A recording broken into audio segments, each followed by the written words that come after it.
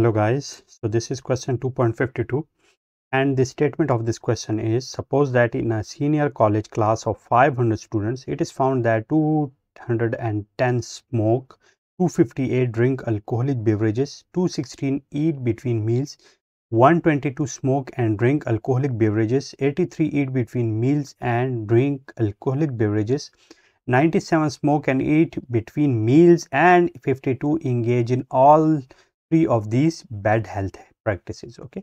If a member of this senior class is selected at random find the probability that the student okay? So now we are given three case studies in which we have to find the probabilities of each of these cases. But so in order to solve question b what do i have to do? Let me remove all this.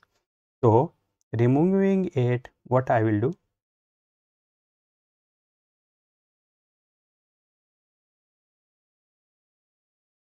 So now part B is we have to find out what we have to find the probability that uh, the student eats between meal okay? Uh, so what do i have to do? I have to find out the student who eats between meals and drink alcoholic beverages and okay and is all always represented by this uh, intersection symbol. And drink alcoholic beverages. So this is d uh, and but doesn't smoke. So okay so he doesn't smoke which is represented by this complement.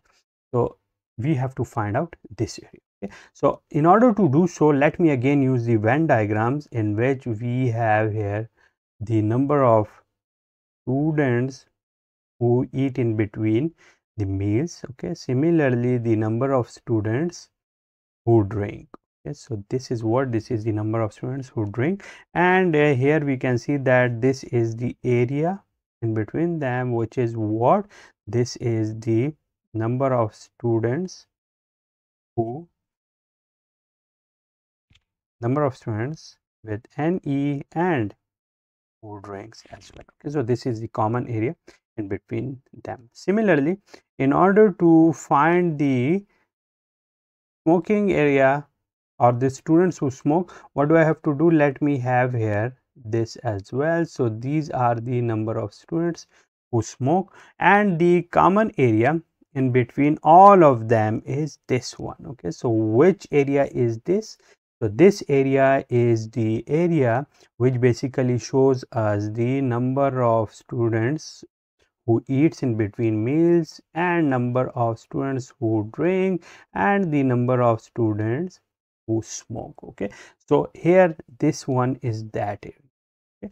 So now in order to find the probability what do i have to do? I have to find out the number of the probability or the number of uh, students who eat in between meals who drinks but doesn't smoke. So by looking at all of this we can very clearly see that this is the area which portrays the number of students who eat in between meals and who drinks but who doesn't smoke. Okay so this one is the area. In order to find it out what do i have to do? I have to calculate this area or let me represent this with this red color. So i should have this area which is what?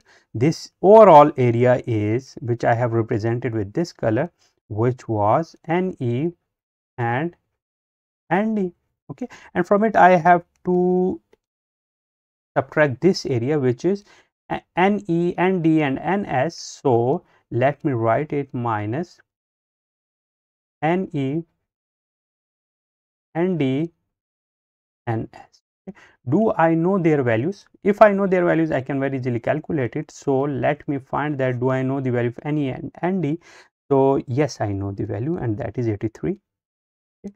So the 83 is given here. Do I know the value of NE, ND and NS? Uh, yes, it is also already given here and that is 52. Okay. So subtracting them, what I will get? I will get here 31. Okay. So the number of the students which are here are basically this. So this is 31 which is represented by this yellow color. So now in order to find the probability of it, I have to find out the number of E and number of D and number of S complement divided by the total number of uh, students so let me write their values here. So writing their values let me write them here.